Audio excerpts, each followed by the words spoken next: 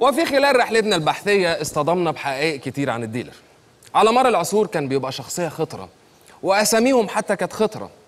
الكرف الدكش الطرشويلي أسامي توحي بالهيلمان تحس رجالته واقفين وراه في اسمه.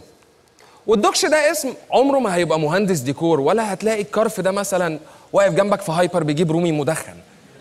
بس مع تطور نوعية المخدرات نوعية ال dealerات كمان بتتطور. بقى عادي دلوقتي تلاقي dealer اسمه كوكي في الزمالك أو مودي في قطامية Heights أو حتى داليا في الرحاب.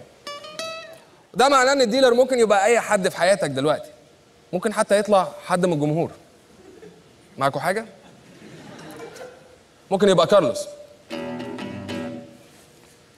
مهم.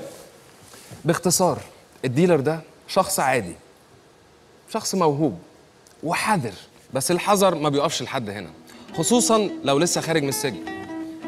محدش بينجرح قوي غير لما بيتحبس قوي.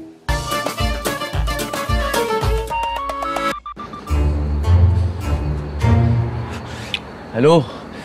أيوه يا سيحة أنا قدام الكشك وانت فين؟ تمام. أنا فؤاد يا سيحة. ها أنت فين؟ أنا ورا الكشك الفيلم طلع قشطة يا سيحة جاي لك. ألو؟ أيوه يا سيحة أنا ورا الكشك أنت فين؟ أنا فؤاد يا سيحة انجز أنا ورا الكشك انت فين؟ أنا قدام الكشك اللي في الطرق سيحة ألو سيحة انت فين يا سيحة؟ أنا قدام الكشك أهو. تمام أنا فؤاد أقسم بالله أنا فؤاد يا سيحة انجز هموت من البرد. انت أنا فين؟ جوه الكشك سيحة بلاش هزار يا سيحة انت فين يا سيحة؟ أنا جوه الكوك بقول لك ادخل لي بسرعة. سيحة سيحة. كده برضه يا سيحة دوخنا يا سيحة. امال انت صاحبي الجو موت أمان قشطة يا سيحة تمام. بقول لك إيه فين الصباعين؟ مدينة نصر. إيه؟